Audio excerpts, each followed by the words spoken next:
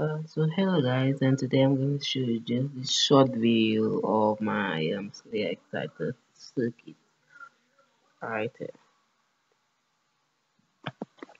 Um, this is the circuit I use.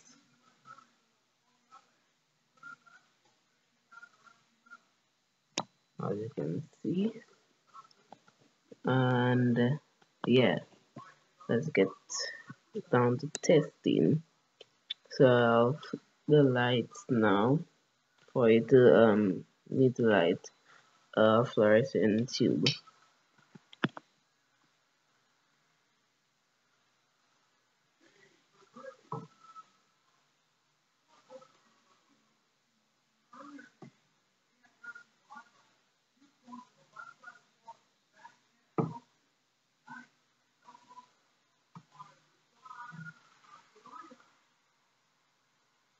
it's actually getting a bit warm on the um, tube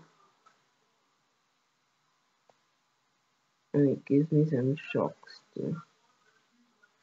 As you can see it turns my hand into the charcoal. So thanks for watching. Please subscribe rate and comment